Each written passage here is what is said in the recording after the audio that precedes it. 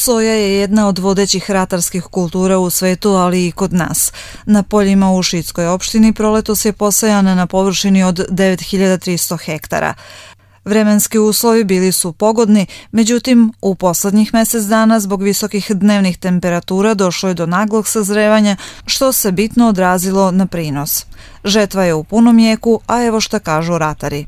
S rodom sam jako zadovoljan, nije baš kao što smo očekivali, ali s obzirom na situaciju kakve izbile vremenski uslovi, zadovoljni smo. Kakva je cena, da li je formirana cena i šta Pa, kaže vaš komentar? kažu 35 dinara je sad to za nas seljake baš nije neka cena, ali da je moglo bolje je, ali trenutno takva je situacija kakva je sad šta će biti dalje vidjet ćemo. Da li je to akontna cena sam ili, ili je prava vidjet ćemo kasnije po završetku.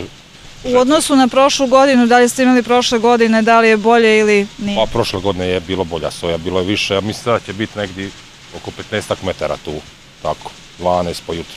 A prošle godine smo imali 20. Da li plani- planirate sijati i sljedeće godine? Pa moramo mi se s tim poslom bavimo tako da ne vidimo razlog ši, s čim se drugim baviti. Mislim, to nam je jedini, jedina neki izvor prihoda. Sad radiš i malo to poljoprivrede i tako da nekak krpiš čovjek kraj s krajem.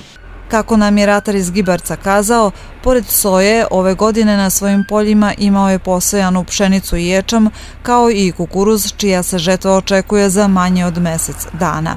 Vlaga soje kreće se od 9 do 10%, a konačan prosek prinosa ove kulture znaće se nakon žetve, čiji se završetak očekuje ovih dana.